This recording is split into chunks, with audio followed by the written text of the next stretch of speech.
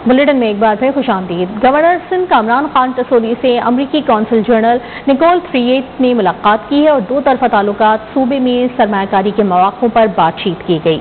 अमरीकी consul general ने सूबे में यू एस एड के मनसूबों गवर्नर एशडियो के आई टी प्रोग्राम और दीगर उमूर पर भी तबादला ख्याल किया।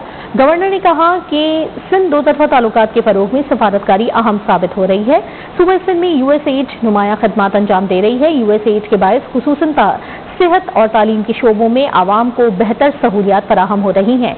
अमरीकी सरमाकारी से रोज़गार की फरहमी और गुर्बत के खात्मे में मदद मिलेगी। अमरीकी कौंसिल जनरल ने कहा कि अमरीकी सरमाकार मुख्तलिफ़ शोबों में सरमाकारी में दिलचस्पी रखते हैं।